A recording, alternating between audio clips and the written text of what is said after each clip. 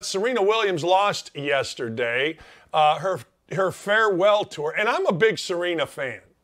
Like I talked about Serena Williams, I, I couldn't tell you literally. I used to be able to, but as we get older, our priorities shift. I used to be able to tell you the top ten women tennis players in the world. I did. I followed it all. Loved to play tennis. Didn't play in high school, anything like that. Just loved to play.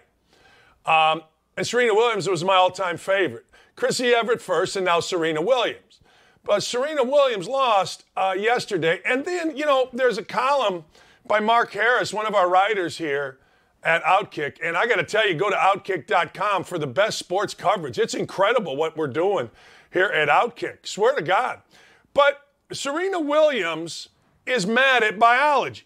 Serena Williams is mad that she has to be a woman and choose family or career. She really doesn't have to. Here's what she said. Let's put on uh, what she said, and I, I just don't get this. You know, believe me, I never wanted to choose between tennis and a family.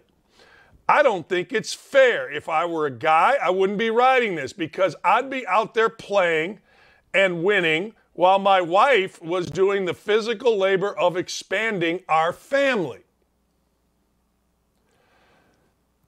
That's biology. I mean, I don't know what to tell you.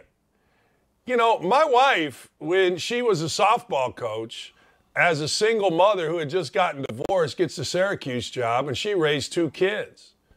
I mean, she did it. She did it with help, but she felt blessed to be able to have two kids. She felt blessed to be able to have two kids that are healthy. You know, it, it and I just She's worth 250 million. Husband's worth 40 million.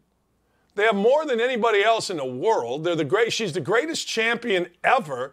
Blessed to have a child, a healthy child.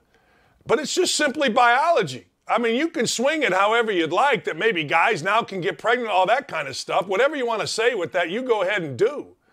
But the truth of the matter is, you can't be mad at biology. We can be mad at a lot of stuff. We can be victims over a lot of things. But biology is what biology is.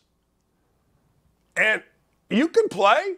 You, you got $400 million between you or whatever it is. Hell, get a 10 nannies and go play. You want, I think, the U.S. Open while being pregnant. I mean, damn.